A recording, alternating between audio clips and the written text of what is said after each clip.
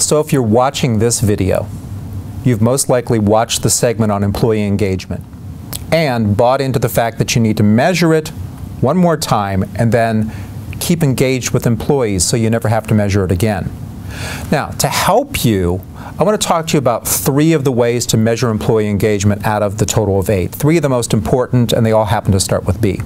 And those are beliefs, buy-in, and behaviors. And I'm going to work those backwards, actually.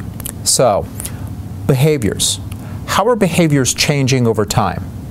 If you measure that engagement is low and behaviors increase, you see noticeable evidence, you're seeing a more engaged employee. The reverse is also true. So that's behaviors. Buy-in. Do they put their actions where their mouth is? do their words and their actions align?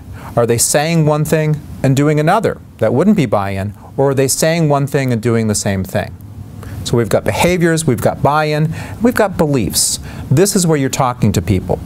What do they believe? Do they believe the company's headed in the right direction?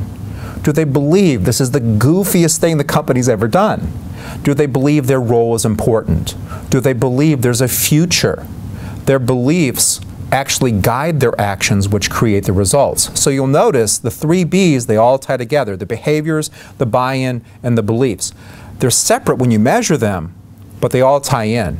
And that's why employee engagement is so important. It all comes together when you measure it, all eight, and you've got three of them now, to the level of engagement of the employee. This is why it's so important to measure it one more time if you don't know, and then stay engaged. Because all these things put together either keep the employee engaged or heading off in the wrong direction.